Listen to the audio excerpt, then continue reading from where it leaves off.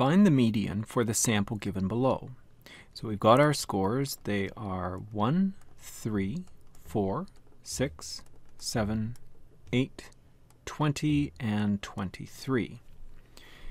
And the answer is either going to be 5.5, 6.5, 7, or 72 divided by 8, which would be 9.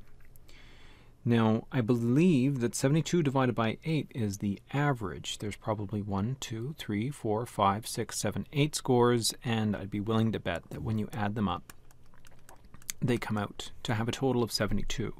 And so this is the mean, not the median. So that's not what we're looking for.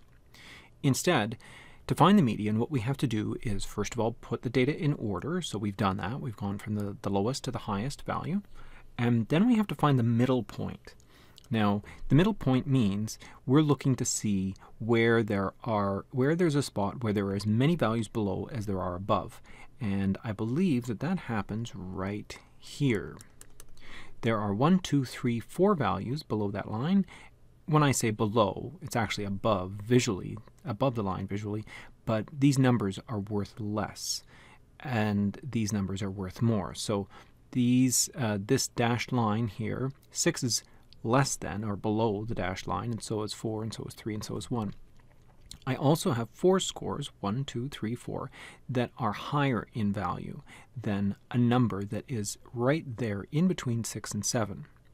So now, in between 6 and 7, the only choice is B, but to be a little bit more uh, specific about what the actual value is, instead of saying it's between 6 and 7, therefore it must be this, um, it's better to say that if this median or middle point, the median means the middle, if this middle point doesn't hit a number directly, like for example, if I had the values 1, 2, and 3, where's the middle here?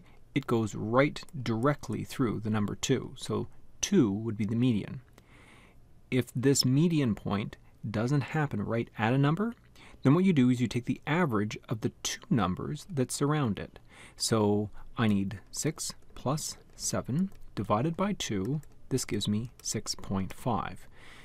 This is not an average, it's not the mean of the entire set of scores, it's just the average of the two numbers that are on either side of the median. So 6.5 is the average of the two numbers on either side of the median line. So this is the median. It's 6.5.